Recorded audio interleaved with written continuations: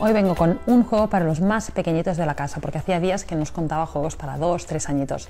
Este es una de las novedades de este año de Digeco, que es el Little Match, ¿sí? A partir de los dos años y medio y es un juego de ir, pues tal como dice el nombre, haciendo parejas. En la caja encontramos 40 tarjetas, como siempre, de esta colección súper resistentes, ¿vale? Para las manos más pequeñitas, que les puedes echar agua o lo que sea, no habría problema. Y donde tenemos diferentes animales, y diferentes colores. ¿Vale? ¿En qué consiste el juego? En ser el primer, el, primer jugador que te queda sin cartas. ¿Cómo hacemos? Mezclamos las cartas, que nosotros ya las habíamos mezclado, ¿vale? Las ponemos en el centro de la mesa y repartimos cuatro tarjetas a cada jugador. ¡Uh! ¡Qué mezcladas que estaban! No quiero decir nada, ¿vale?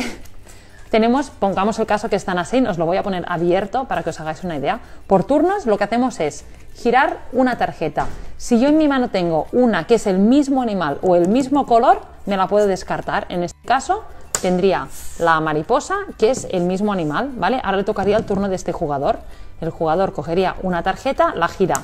¿Tiene el mismo animal el mismo color? Sí. Pongamos el caso, como os decía, pongamos el caso que ahora mismo este jugador no tuviera ninguno que sea igual de animal y de color o animal o color. Lo que haría sería coger una tarjeta nueva y pasaría el turno al siguiente jugador. Sería mi caso, por ejemplo, tendría el mismo, tanto color y forma, ¿vale? Ahí en color y animal, ¿vale? Y es ir haciendo hasta que alguno de los, el primer jugador que se quede sin las tarjetas, ahora sería mi turno, yo no tendría nada, cojo una, ¿vale? Ya habéis visto que es una mecánica muy, muy sencillita para los a partir de niños a partir de dos años, niños y niñas, y ideal para empezar a reconocer animales y para reconocer las, los colores.